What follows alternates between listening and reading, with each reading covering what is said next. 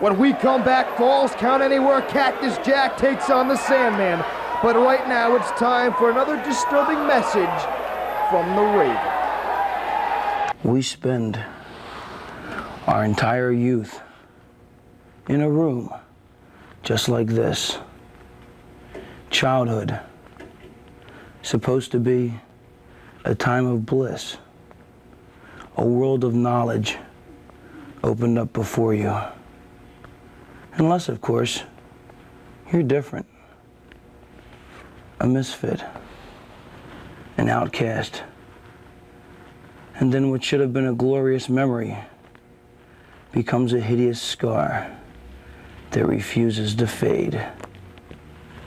You can deny it, you can hide it, you can repress it. But ultimately, Tommy Dreamer, you can never forget it.